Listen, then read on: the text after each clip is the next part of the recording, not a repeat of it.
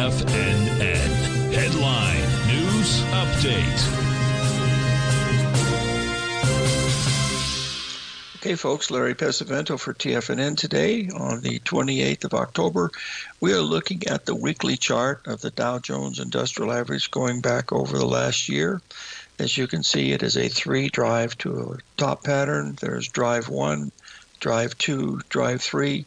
You can see that each of the drives goes to a 1.618 expansion, almost to the exact tick. It was the exact tick on point three. Now, what's important about this is this pattern tells you a couple of different things that this is a major top. You can see by the moves down. There was the move down in one.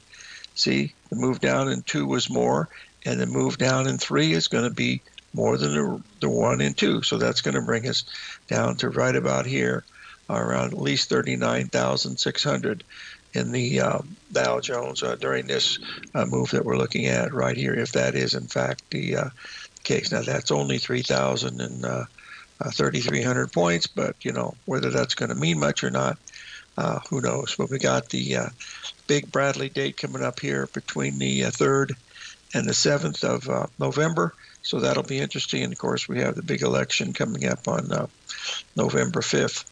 Okay, now that's why it's so much importance, folks, because this is about as perfect as it possibly can get. Now, if for some strange reason wouldn't much be much stranger is if we start taking this out here above 0.3, holy moly guacamole, it could go a whole lot higher. All we've done today, folks, is you know we were down considerable amount in the Dow Jones. We basically have recouped some of that. That we've rallied back uh, just about a little above uh, 65% of the range from the Dow Jones high to the Dow Jones low yesterday. The high being up there at 28. Wow, 428. Um, 10, and uh, the actual high was 11, and then it broke down to 22. That's down 600. We rally up three, so we recovered 50% of the loss that it made on Friday.